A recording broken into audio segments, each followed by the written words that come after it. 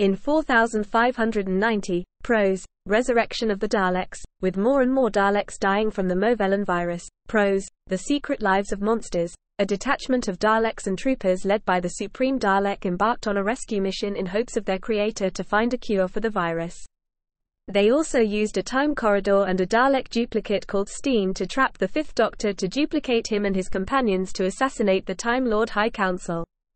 However, the Doctor broke free of the duplication apparatus and turned Stien to his cause. Meanwhile, Davros turned several Dalek troopers and two Daleks to his cause through mind control, only for the Supreme's Daleks to destroy the rebels. Both Davros and the Doctor unleashed the virus and the Dalek ship was destroyed by Stien. TV. Resurrection of the Daleks. Nevertheless, Davros's work on analyzing the virus had already been sent to Dalek Supreme Command, allowing the Daleks to quickly develop a cure. Prose. The Secret Lives of Monsters. Both Davros and the Supreme Dalek also survived the event. TV. Revelation of the Daleks. Prose. Resurrection of the Daleks. However, to avoid the virus, the Daleks had dispersed across the cosmos.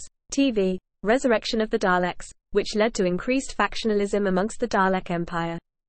After Davros's actions officially opened up a schism, prose, remembrance of the Daleks, the divide amongst the Daleks left their never-ending war effort in ruins, with invasions and wars failing. The Daleks grew concerned at the growing divide amongst their kind, with the Daleks on Skaro, despite continuing to claim that they did not need humanoid life forms, coming to believe that they needed to rescue Davros so their creator could provide them direction. Audio. Innocence.